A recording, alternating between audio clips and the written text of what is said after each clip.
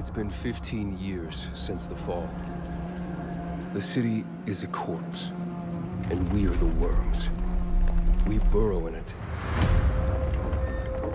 fighting for every useful piece of land to preserve ourselves from the terrors of the night and the horrors of the day. I know not who can hear my voice. I shall therefore speak a word unto here. Anyone who dares to steal food will be hanged, and their bodies will be exposed. Every day we rise from dust to choose between bad and worse.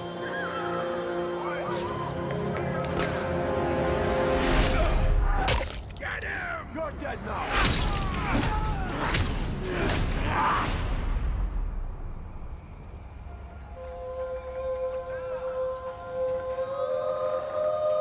And these choices we take to survive will create the world to come.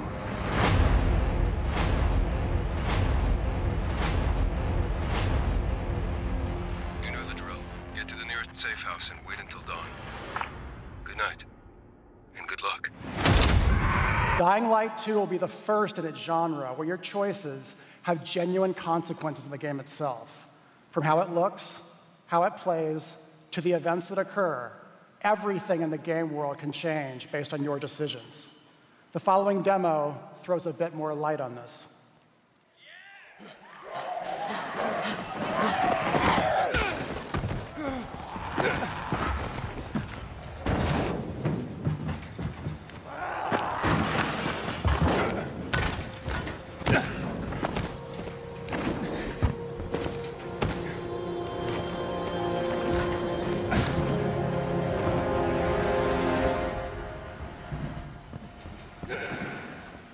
Dying Light 2 features a functioning ecosystem that reacts on multiple levels to the things you do and the choices you make.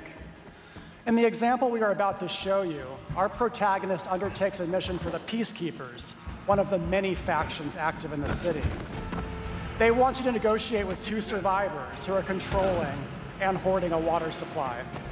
You going to insult us with another final offer?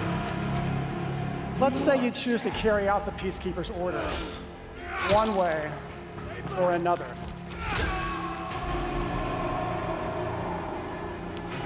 After this, you will start seeing a significant change in the city as access to the water supply allowed the peacekeepers to bring stability and develop the area. There's even running water for the people at street level, and that raises their morale and allows you to replenish your energy on the go. But there's a cost to this. The PKs have a rigid approach to law and order. So while the streets may be safer, it's only safer for those who side with them. So if you get on their bad side, now let's return to that moment of choice. And instead of killing them, you choose to team up with this group to supply water on the black market. As you will see, this creates a very different set of consequences for the city. With water being a precious currency, it brings you access to new resources and trade. But this, in turn, attracts the worst type of people to the area. And this is just a single decision, one out of hundreds you will have to make. But it allows you to carve out your own world. Each player's game experience will be unique.